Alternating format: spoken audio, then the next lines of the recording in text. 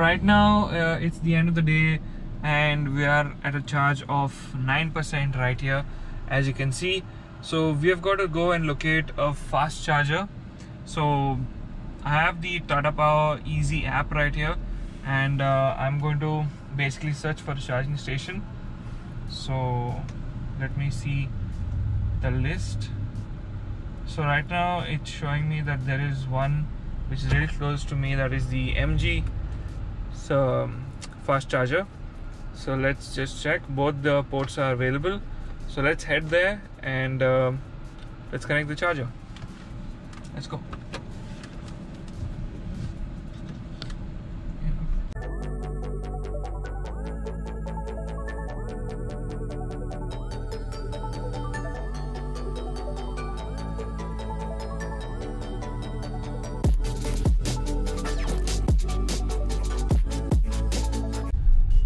so this is the MG showroom right here and uh, the fast charger is located in the front itself. So let's park the car right there right in front. So yep. And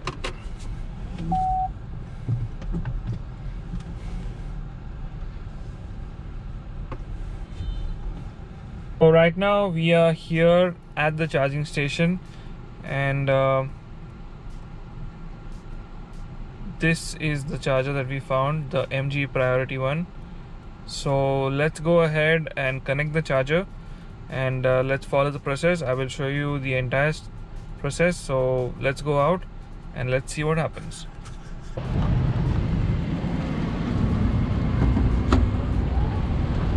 so right now we have connected the charger to the car and uh, as you can say we have already connected. We can say proceed. Uh, we'll charge up 200 that's uh, let's see how much that estimates to. It's around 11.11 kilowatts. So let's say proceed. And uh, gotta wait for a couple of minutes. So now there's an OTP that is sent. We need to enter this OTP in the DC charger right here. So let me just quickly enter that. So we need to say enter OTP uh, it's not that clear because uh, there's a lot of reflection. We press ok. So after we do that basically verifying the otp so now it's going to fetch data of the vehicle. So it's fetching the data of the vehicle over here. And uh,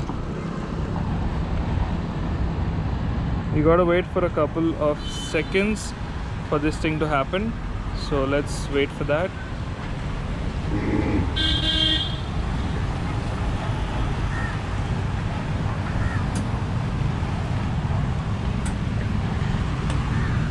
And it's still showing that charging symbol. So right now it is it has started. So there's like a, a fan that blows right from here. So of course it's a bit delayed on the phone but it has actually already started charging because uh, the screen right here shows the charge already. It says that it already started. So let's see how long this is going to take us because uh, it's going to show me the time I guess. So it's calculating the time. So let's uh, step in the car as well because uh, we can also see the same thing on the screens so let's hop on inside and here as you can see on the instrument cluster it does show you that the car is being charged. There's like a battery pack. And you can also see the same thing right here on the infotainment system. So it says charging and it shows that it's at 10 percent. Right here is a lot of sun reflection but yeah this is basically how it is. So now yeah. So now the app is basically uh, shown us. It's going to take us around 12 minutes more. It's already one minute charged. And uh, it's showing me the consumption as well. So let's just wait and see how long this takes. And uh, we'll get back to you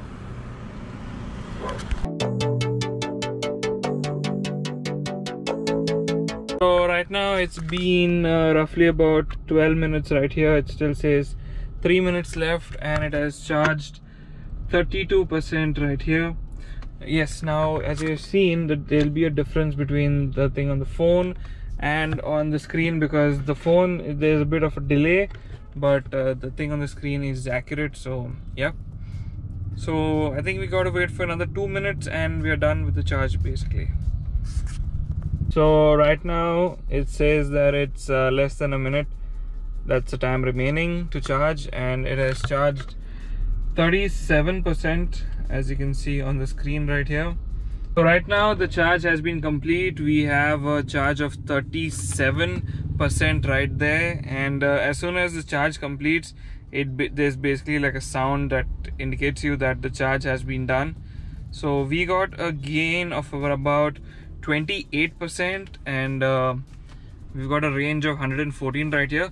So now what we need to do is uh, as the charge is already over I need to go outside and unplug it. So I will take you all along with me to do this.